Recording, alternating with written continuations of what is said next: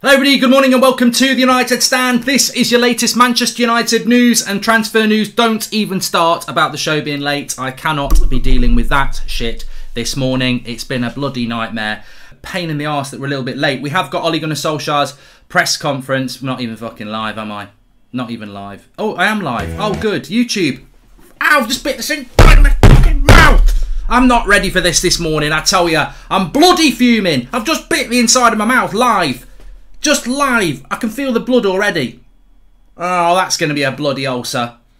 Ah, oh, I can't fuck it. You know what? I feel like chucking this cup of tea at the bloody. Oh, to get them off, fucking wankers. i have had, I've, I've, had, I've had it up to here this morning. I'm not even bloody joking. This is like the worst morning I've had in a long, long time.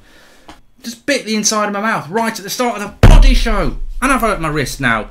Right, anyway, lots to get into this morning on the United Stand. Hello, everybody, and welcome to the United Stand, the friendly place for Manchester United fan chat. Yes, swivel on it, I'm telling you.